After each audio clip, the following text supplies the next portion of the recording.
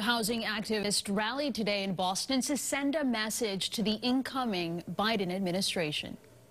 Housing is a human right, and when we fight, when we fight, this morning, tenants, landlords, and faith leaders in Boston rallied outside Housing Court and then marched to the JFK building. They want the Biden administration to impose a stronger and longer federal evictions ban.